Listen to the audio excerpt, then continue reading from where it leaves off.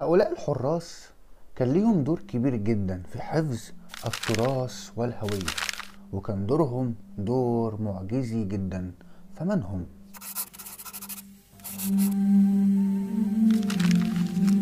أهلا بيكم في حلقة جديدة من حكاوي قبطيه مع صاحب الحكاوي كرولوس كمال. النهارده هنتكلم معاكم عن الدور المهم والقوي للحراس الهوية. حراس الهوية دول قدروا بسبب حفظهم للألحان إن هم يسلموها من جيل لجيل ويحفظوها عبر الأجيال. فكان دورهم معجزي ومهم جدا لأن الألحان دي ما اتكتبتش لكن كانت بتتسلم بالظبط من جيل لجيل. والناس دي اتشهرت بأسماء زي المعلم أو العريف أو كبير المرتلين أو رئيس المرتلين. الناس دي كان أغلبيتهم من كفيف البصر. وفكرة كفيف البصر دي ترجع للمصري القديم لأن بعض المغنيين عند المصري القديم أو عازفي الآلات كان من مكفوفي البصر لأن مكفوفي البصر عندهم حساسية عالية ناحية الموسيقى وناحية السماع الموسيقي والحفظ فكانوا بيعوضوا فقد البصر اللي عندهم عن طريق الموسيقى. فالكنيسة أخذت الفكرة دي من بعض المغنيين أو عازفي الآلات من المصري القديم وبدأت تخلي الناس دي ليهم مكانة في الكنيسة وعطتهم إن هم يحفظوا الألحان ويسلموها من جيل لجيل. وتعالوا مع بعض نبدأ نتعرف على دور المعلم في الكنيسة ودور العريف.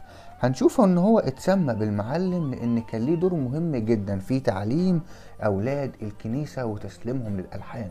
واوعى تفتكر إن هو دوره اقتصر بس إن هو يسلم الألحان. لا ده كان هم في كتاب جنب الكنيسة الكتاب ده كان ليه دور مهم جدا.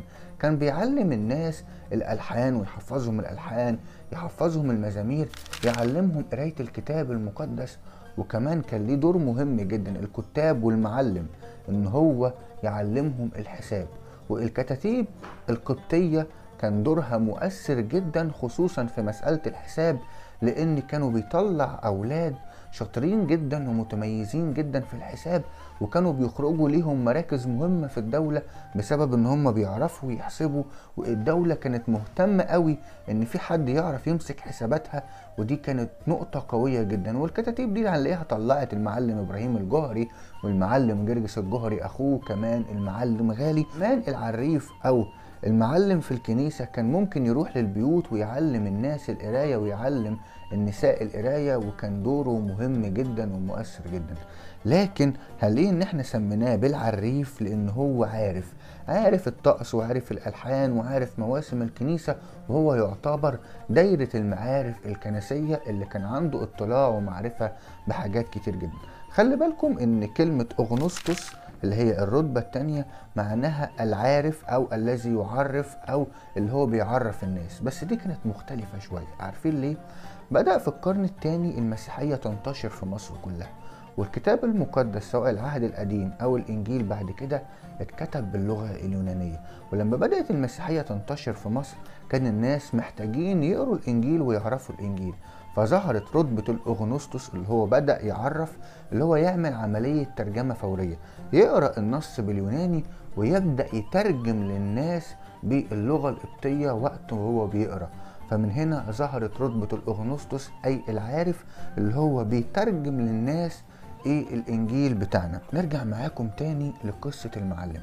هنلاقي إن ما نسمعش حاجة عن المعلم أو يبدأ صيت المعلمين يختفي أو ما يبانش قوي لحد منتصف القرن 19 سنة 1850 لما يجي البابا كرولوس الرابع أبو الإصلاح ويبدأ يعمل نهضة في الكنيسة ويبدأ يهتم بالعريف ويهتم إن في أجيال في الكنيسة تتعلم حفظ الألحان وتسلمها جيل بعد جيل.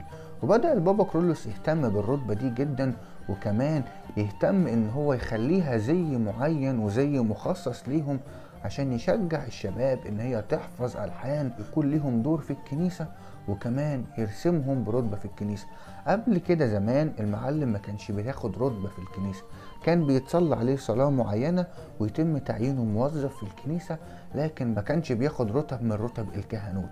الشمامسه بتوع المسبح بس.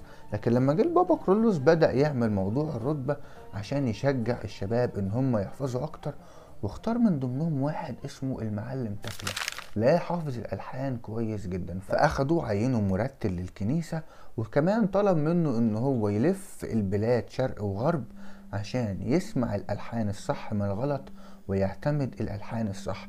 وبعد كده المعلم تكلا يكون ليه دور إن هو يسلم من موهوبين الكنيسة يسلمهم كل الألحان الكنسية وكان من ضمنهم المعلم ارمانيوس وكمان المعلم قزمان.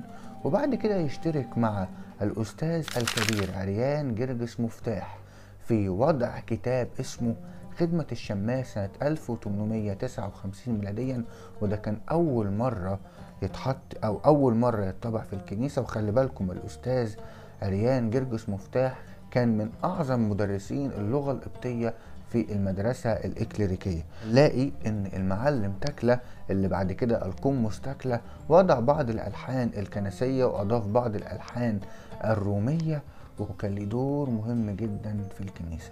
وبكده نكون خلصنا معاكم حلقة النهاردة وشفنا دور المعلم ودور العريف في حفظ الهوية وحفظ التراث. أتمنى إن الحلقة دي تكون عجبتكم ما تنسوش تشتركوا معانا هنا في القناة وتفعلوا الجرس عشان حكاوي قبطيه كل ما تكبر كل ما تقدر تديكم معلومات أكتر وتديكم جودة أكتر في الصورة. واستنونا في حلقة جديدة ومع السلامة.